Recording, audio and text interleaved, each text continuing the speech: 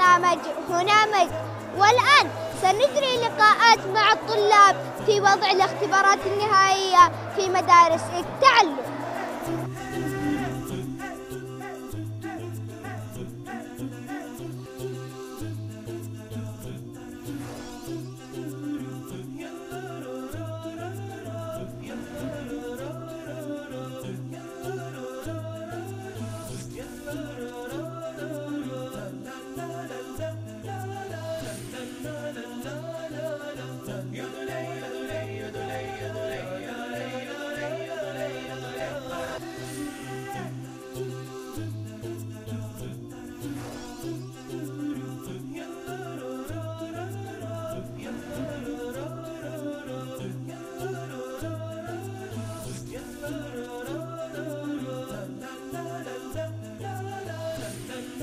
la la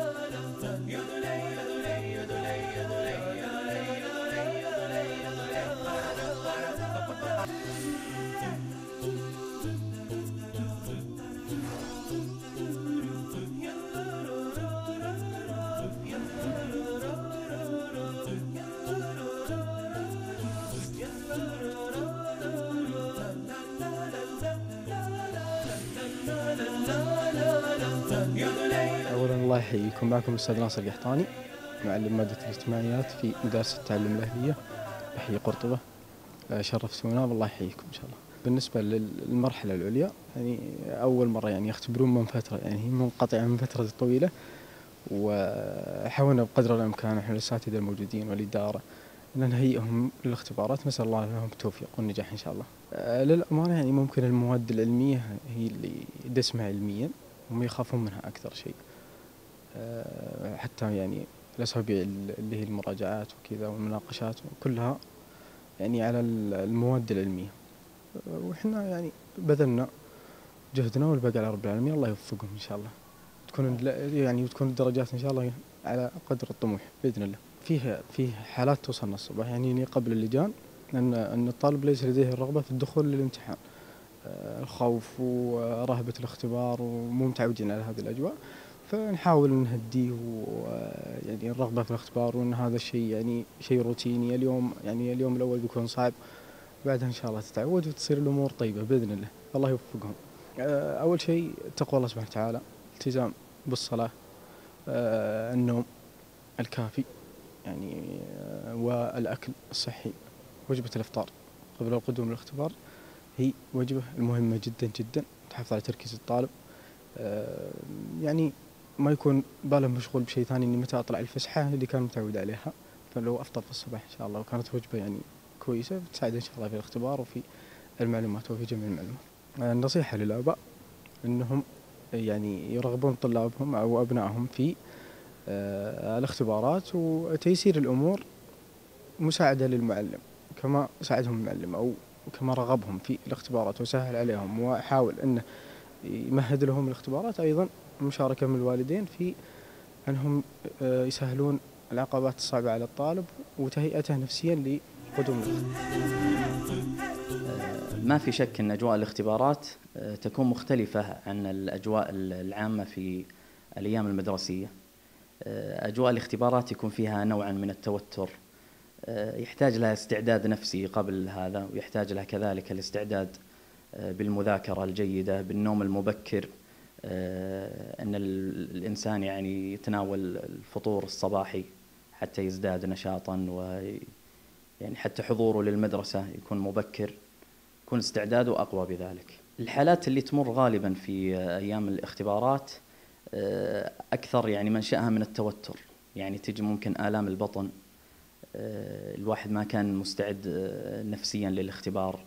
أو كذلك ما أفطر آه، يكون في آلام في البطن يكون فيه آه، صداع آه، مرات ما أفطر يكون فيه رجفة باليدين مع الخوف من الاختبارات فيكون شيء سلبي على الطالب بحيث إنه ما ما يؤدي الاختبار بشكل جيد. غالبا التعامل مع الطالب إذا كان فيه توتر يكون تعامل بشيء إنك تعطيه طمأنينة أكثر. يعني هو توتر أكثر من إنه يكون شيء مرضي. آه، وما في شك إنه مع الأجواء الباردة الآن وكذا ممكن قلة آه، يعني التعامل مع الأمراض ممكن يكون في بداية سخونة ممكن يكون فيه أشياء فنعمل له إحنا ناخذ العلامات الحيوية له وممكن نعطيه حسب بعد المرض اللي عنده سواء كان في البطن أو كان للصداع والأدوية متواجدة.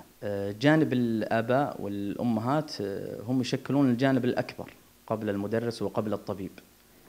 سواء يحتضنون أبنائهم بالدعاء وقبل ذلك الاستعدادات. مثل ما قلنا في النوم المبكر أن الطالب يكون مفطر قبل حضوره للمدرسة.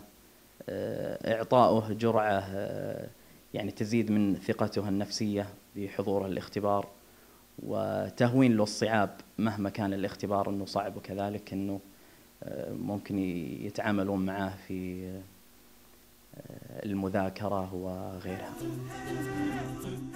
اسمي محمد خليل غامدي طالب صف خامس ابتدائي. معكم الطالب عبد الله غارم العمري.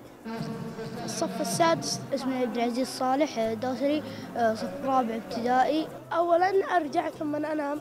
ثم اقعد أذاكر لين المغرب ثم اتغدى وأكمل مذاكره لين الساعة 9 وأنام وأقوم. بعض الأحيان مثل اختبار إنجليزي كذا. يجيني توتر أول ما أبدأ أذاكر أحس إنها صعبة بس بعدين لما أفهم وأذاكر وأفهم وأحفظ المعلومات تصير سهلة. كل شيء سهل بس لازم بس يبغى له بس مذاكرة ومراجعة وكل شيء. أمي وأبوي وقفوا معي. في كل الاختبارات وساعدوني وأعطوني أشياء فعلا جات في الاختبار. وأنا ما كنت متوقعها بس بفضلهم ثم الله ثم هم ما كنت نجحت في ذا الاختبارات أحب أني أشكر أبوي وأمي لأنهم كانوا يساعدوني والله من دونهم ما كنت بقدر إلا أني اختبر أحب أشكر أمي وامي وأبوي. المواد اللي تكون سهلة مثل الفقه والحديث والتوحيد ورياضيات عندي مادة سهلة. وهذا لغة الاجتماعيات الوطنية. هذه كلها سهلة عندي. آه الإنجليزي واللغة العربية. يعني أول ما أرجع أخلص كل اللي علي وبعدين أخذ راحة طول اليوم. أنا طبعا أول ما أرجع من مدرسة الظهر كله راحة. والعصر ذاك النص والمغرب نص والعشاء نص.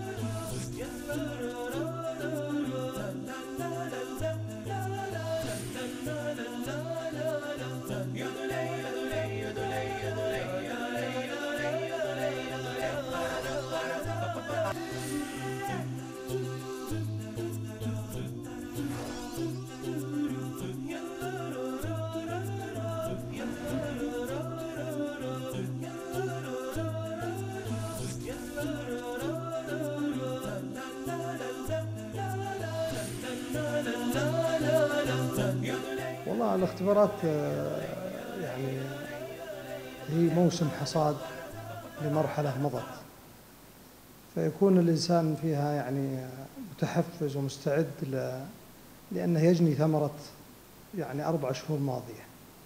لا شك فيه يعني استعداد من في البيت وفي المدرسة ومن الطالب ومن ولي الأمر.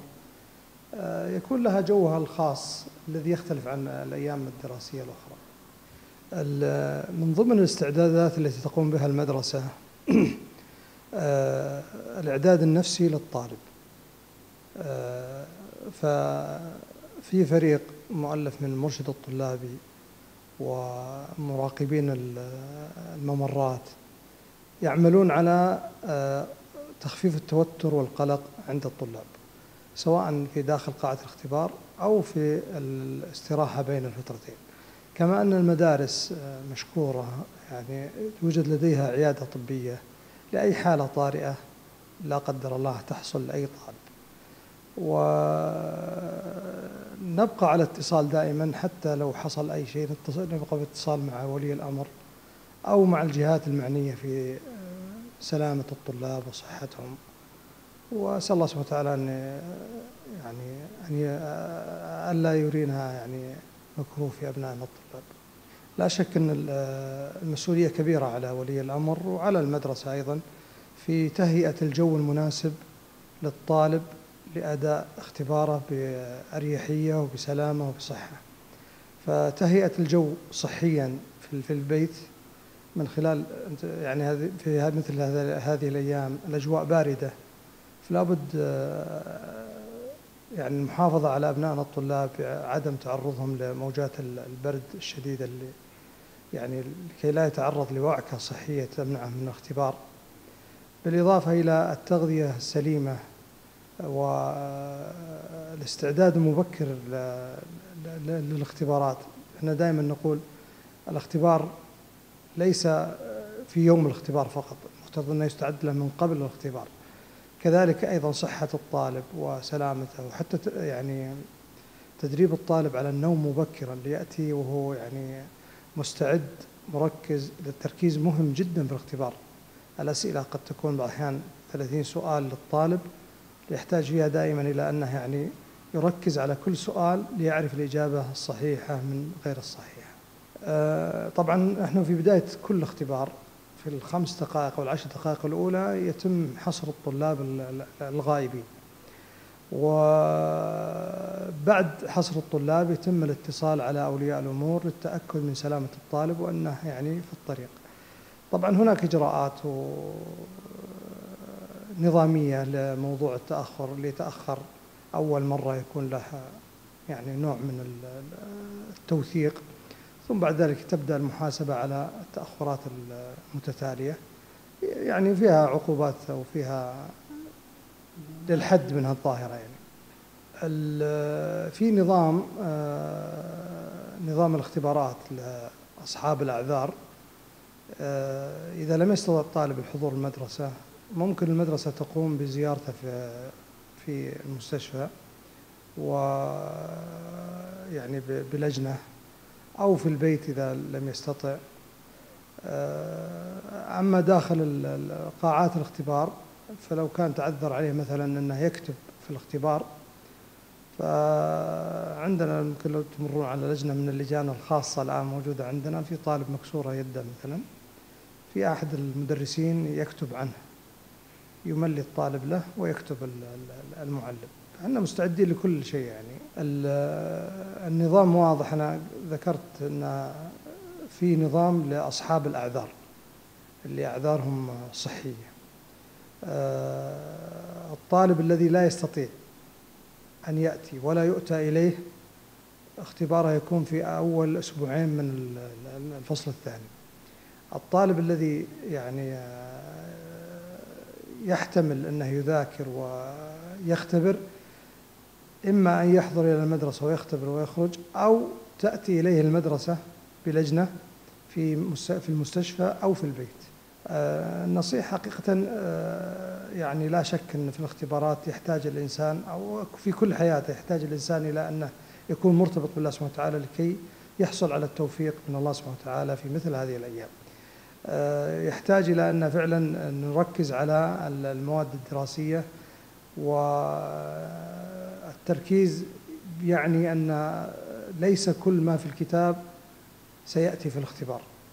إنما هناك نقاط مهمة في الكتاب هي التي تفرق بين الطالب الممتاز وبين الطالب المتوسط وبين الطالب الضعيف. شدة التركيز داخل الفصل شدة التركيز أثناء الاختبار هي التي تفرق بين الطالبين المتميز والغير قد وصلنا إلى ختام برنامجنا. هنا كان معكم محدثكم عادل الشراني ونلقاكم إن شاء الله الأسبوع القادم.